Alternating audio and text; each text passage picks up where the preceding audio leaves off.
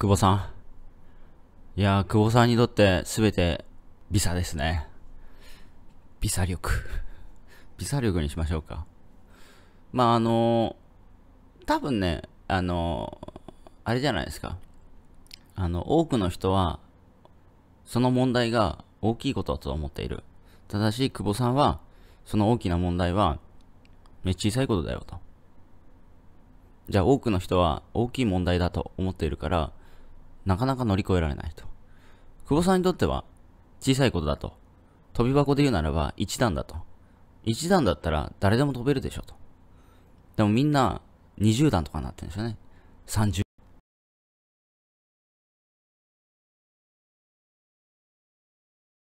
でもそれはどう捉えてるかですよね。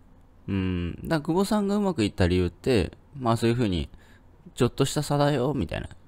そんな人生なんか大きい問題ね、みたいな。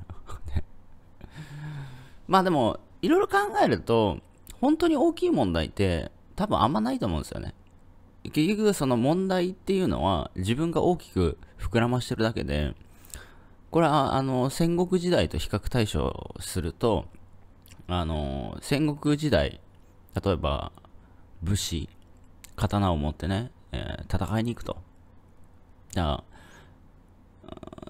戦国時代の大きい問題って何でしょうか？負けたら首をバッサリ切られるっていうね。でも今の時代、首を切られるという問題はあるでしょうか？多分ないですよね。街中歩いてて、ね、刀みんな持ってて、なんか負けたら、ね、戦いに負けたら首切られるとかないじゃないですか。かそう考えると、今の問題って、すごく平和ですよね。多分まあ、まあ今後どうなるかわかんないですけど、まあ日本が戦争に負けて、あの、その時にね、なんか、あの、条約、もしくは憲法を作ってね、戦争しません、みたいなね。まあ、確率はわかんないですよ。北朝鮮が飛ばしてくるかわかんないですけど、うん、核爆弾を落とされる確率、今の現時点、現代で、限りなく少ないんじゃないかなと思います。うん。まあ、一回ね、広島、長崎ですか？落とされましたけど、じゃあ今現代落とされる確率はあるんでしょうかと。昔に比べると非常に低いですよね。多分核爆弾を落とされるってかなり大きい問題ですよね。だって一撃で、一撃で多分何百万人が死ぬわけじゃないですか。かその問題に比べると、うん、小さいですよね。だなだから、なんだろうな、問題定義をどこに置くかっていうとこじゃないですかね。うん。僕もいろんな方をまあ、サポートしたりとか悩み聞いてるんですけど、やっぱ僕からするとちっちゃい問題なんですよね。でもお客さんからすると大きい問題と。でも100歩譲ってちょっとなんか距離を置いて歴史から学ぶことをするとちっちゃいことだったりとかね。うん。だからまあ、鹿児島にチラン、特攻隊の博物館みたいなのあるんですけど、一回行ってきたんですけど、すごいですね、あそこは。あの、特攻隊で亡くなられた方の手紙とか置いてあるんですけど、僕、あの、入って5分ぐらいで号泣して、もう、いられなかったですもん。なんかね、まあ僕感じれるタイプなんでもう、まああの、手紙置いてるところをこう見たら、なんかね、わかんないですけど、ブワー来ちゃってなんかが。なんかがブワー来て、いられなかったですもん。だからすぐ出てきたんですけど、無理やと思って。どうでしょうかね。うん。今から死んできますみたいな。大きい問題ですよね。問題というかもう、ね、いなくなっちゃうわけですから。だそう考えると、今、あなたにのしかかってる問題って、特攻隊の人たちよりちっちゃい問題なんじゃないですかね。うん。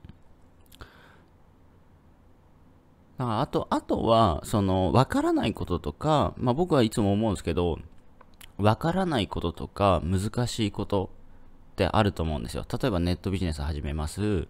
わからないことだらけ。だけど、そのわからないことって一生続くのかっていうと、続かないんですよ。うん。まあ事実を言うならば、麻雀店をやっていたパソコンぜ、パソコン全然できない久保さんもね、お風呂沸きましたね。麻雀店をずっと 40年ぐらいやってた久保さんも、あの、覚え、覚えられたわけじゃないですか。だから、できないっていうことはないと思うんですよね。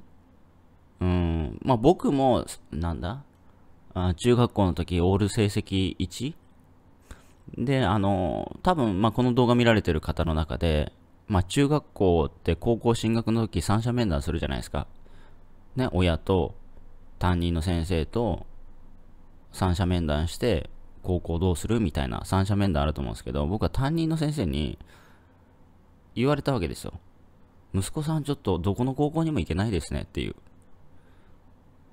これ多分ね、言われた人ってあんまいなくないですか？どこの高校にも入れないって、まあまあ、親の前で言われましたからね。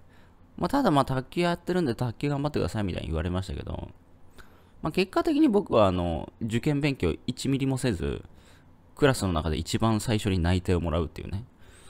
みんなごめんっつってね、言ってましたけど まあ、勉強しなかったんでね、あの、就職活動、大学、大学もね、あの、推薦で面接のみで入って、まあ、特待で入ってっていうところだったんですけど、まあ、就活はね、きつかったですね。勉強しながら、しながら。まあ、いろいろとお話ししましたけど、まあ、問題定義をどこに置くかですね。うん。で、あとは、その問題っていうのはずっと問題ではないよっていう。うん。乗り越えられますよと。うん、今は乗り越えられなくても、今は、それは知らないからであると。だそれは知って、ちゃんと勉強して、ちゃんとやれば、乗り越えられるんじゃないかなと。誰でも。